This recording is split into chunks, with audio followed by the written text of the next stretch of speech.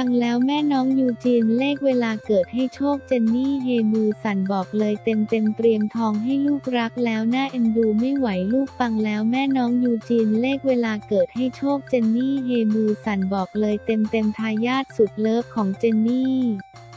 ได้หมดท่าสดชื่น หรือรัชนกสุวรรณเกตกับยิวฉัตรมงคลอย่างน้องยูจินเพิ่งเกิดมาไม่นานก็มอบโชคให้แล้ว โดยคุณแม่ลูกอ่อนเจนนี่โพสต์ลงโซเชียลหลังผลสลากกินแบ่งรัฐบาลงวดวันที่ 1 มิถุนายน 65 ออกมารางวัลที่ 1 ได้แก่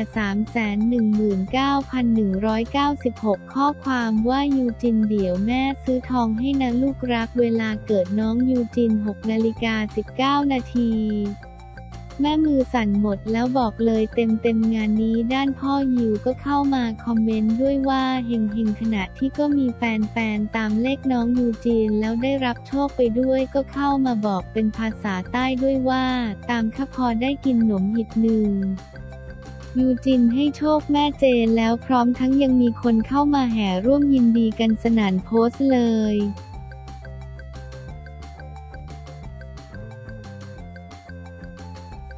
ย้อนดู มาดามแป้ง ผู้จัดการฟุตบอลทีมชาติไทยในวัย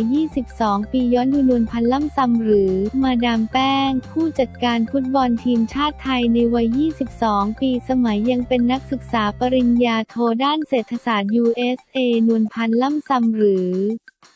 ที่เราคุ้นหูในชื่อมาดามแป้งสาวสวยมากความสามารถกรรมการผู้จัดการบริษัทเมืองไทยประกันภัยจำกัดมหาชน กับตำแหน่งปัจจุบันคือผู้จัดการฟุตบอลทีมชาติไทย เธอเกิดเมื่อวันที่ 21 มีนาคม 2509 ปัจจุบันอายุ 56 ปี เธอเป็นบุตรีของโพธิพงศ์กับยุพาล่ำซำเจ้าของอาณาจักรเมืองไทยประกันชีวิตและเมืองไทยประกันภัย วันนี้เราจะพาย้อนเวลาไปเมื่อ 34 ปีก่อนในวันที่มาดามแป้งเป็นเด็กสาวอายุ 22 ปีเพิ่งจบปริญญาตรี จากจุฬาลงกรณ์มหาวิทยาลัยและกำลังไปเรียนต่อที่สหรัฐอเมริกา และได้ให้สัมภาษณ์กับนิตยสารผู้หญิงปีที่ 6 ฉบับที่ 72 ปักแรกสิงหาคม 2531 ภาพจากแต้วบกโมเดลย้อนกลับเมื่อปีพศ2531 มาดามแป้งวัย 22 มีเพิ่งจบจากคณะพาณิชยศาสตร์และการบัญชี จุฬาลงกรณ์มหาวิทยาลัยทั้งเคยดำรงตำแหน่งรองประธานนิสิตของคณะ เธอแอบเล่าแบบขำขันว่า มีแป้งลงสมัครคนเดียวเขาไม่รู้จะเลือกใครก็ต้องเลือกแป้ง เธอเล่าถึงการเตรียมตัวไปเรียนต่อว่า เคยไปเรียนภาษาอยู่ที่บอสตันตอนนี้อยู่สหรัฐได้หนึ่งปีแล้วทำให้ชำนาญการทำอาหารเมนูจำพวกไข่ มากกว่าภาษาเสียอีกเมืองไทยดีที่สุดค่ะแป้งขอเห็นหน้าคนไทยไว้ก่อน ไม่ค่อยชอบพูดภาษาอังกฤษช่วงนี้เป็นปิดเทอมของเธอจึงกลับมาเมืองไทยแถมยังไม่อยู่เฉยไปฝึกงานอยู่แผนกผลิตภัณฑ์ชำระล้างที่ลีเวอร์ เพื่อรอเวลากลับไปเรียนต่อปริญญาโทเกี่ยวกับด้านเศรษฐศาสตร์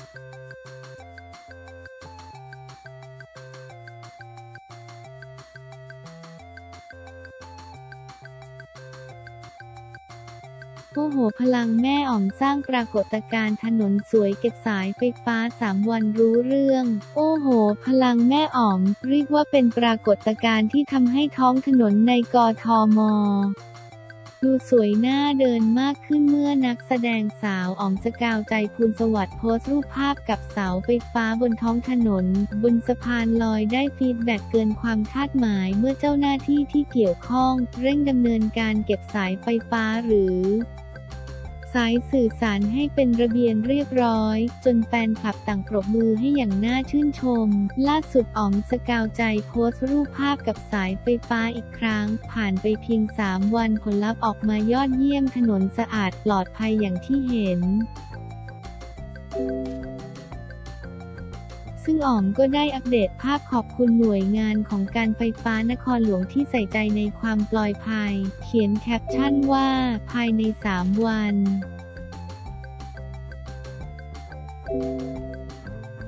สายต่างๆหายไปและไม่ต้องแหวกต้นม่านบาหลีละเด็กๆ และผู้อาศัยแถวนี้ได้เดินแบบปลอดภัยแล้วค่ะ ขอบคุณการไฟฟ้านครหลวงที่ประสานงานให้นะคะ เลื่อนดูรูปความห้อยระยะเครื่องหมายสี่เหลี่ยมแม่อ๋อมลงพื้นที่ งานนี้ชาวโซเชียลต่างฮือฮากับฟีดแบ็ที่ได้ผลลัพธ์อย่างทันตา สามารถเปลี่ยนแปลงท้องถนนให้เป็นพื้นที่ที่ใช้สัญจรอย่างพึงประสงค์สำเร็จตามที่หวังกับพลังเล็กๆ ที่ช่วยเปลี่ยนแปลงสังคมให้น่าอยู่ ขอบคุณไอจีคุณสกาวใจ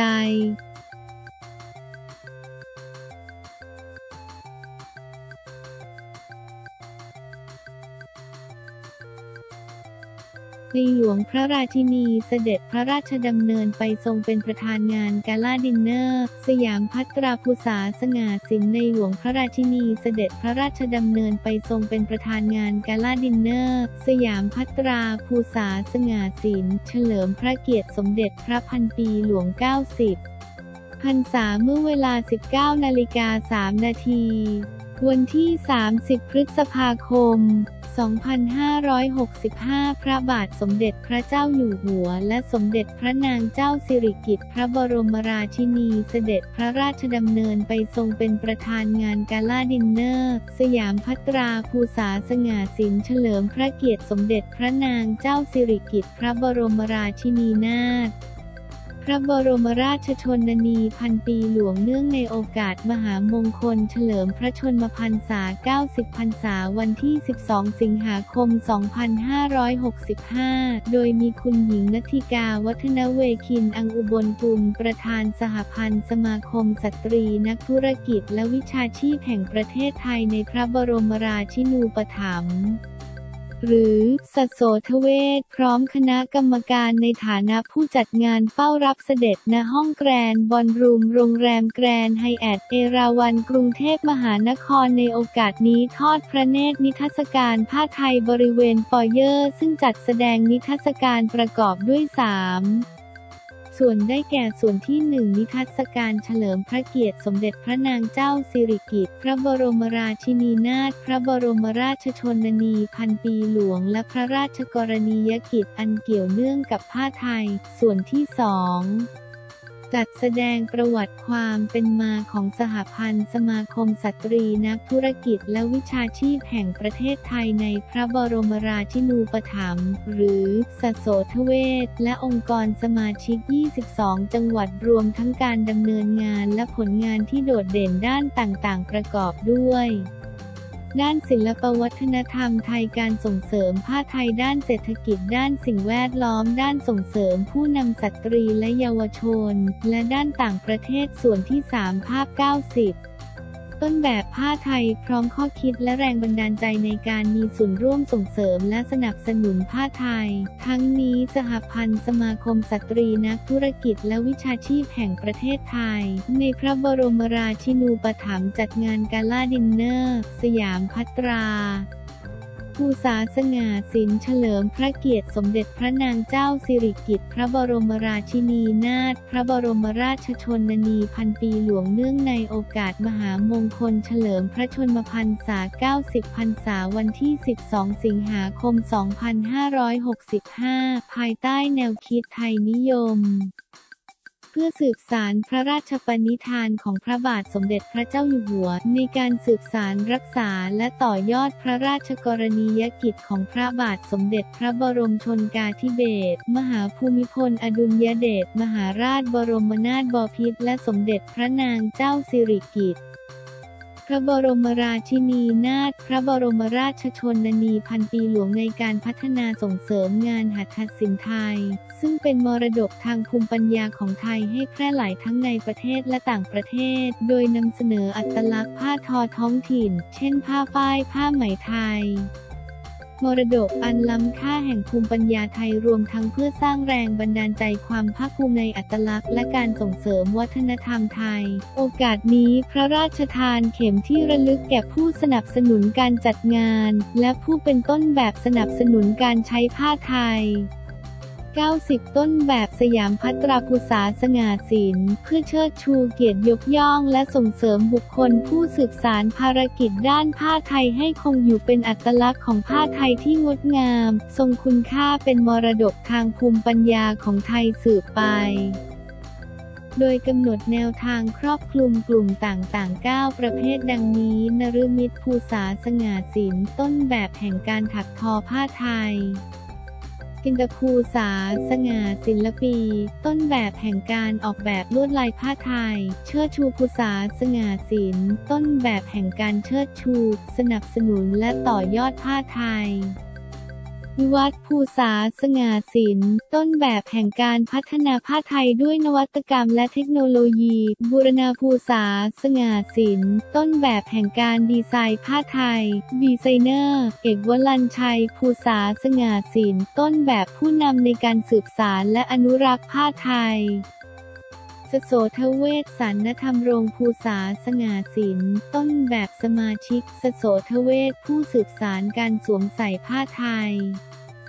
สตรีรักภูษาสง่าศิลปี ต้นแบบสตรีแห่งความภาคภูมิในผ้าไทย และบุรุษรักภูษาสง่าศิลป์ต้นแบบบุรุษแห่งความภาคภูมิใจในผ้าไทย จากนั้นทอดพระเนตรการถวายราชสดุดี เฉลิมพระเกียรติ สมเด็จพระนางเจ้าสิริกิติ์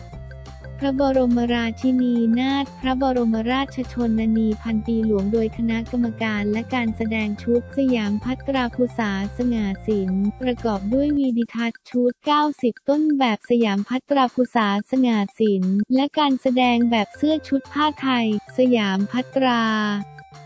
ภูษาสง่าสินผ้าไทยร่วมสมัยไทยนิยม โดยคำนึงถึงการอนุรักษ์ส่งเสริมและเผยแพร่ผ้าไทยให้มีความร่วมสมัยสวมใส่ได้ทุกเพศ ทุกวัยทุกโอกาส และคงไว้ซึ่งเสน่ห์ความเป็นไทยอย่างสง่างาม สร้างความนิยมและความภาคภูมิใจในการสวมใส่ผ้าไทยในชีวิตประจำวัน และสร้างกระแสนิยมการแต่งกายด้วยผ้าไทย รวมทั้งเพื่อต่อยอดให้ผ้าไทยเป็นที่นิยมแพร่หลายในประเทศไทยและเผยแพร่สู่สากล ผ่านเครือข่ายองค์กรสมาชิกนานาประเทศ การแสดงแบบเสื้อในครั้งนี้ได้รับเกียรติจากผู้เป็นต้นแบบผ้าไทยกิติมศักดิ์จากแวดวงต่างๆ แสดงแบบเสื้อกว่า 70 คน และจากนี้ไปทุกองค์กรของสโสทเวททั่วประเทศจะดำเนินการต่อยอดกิจกรรมเทิดพระเกียรติในท้องถิ่นตนเองในการส่งเสริมผ้าไทยตลอดปีมหามงคลนี้อย่างต่อเนื่องต่อไป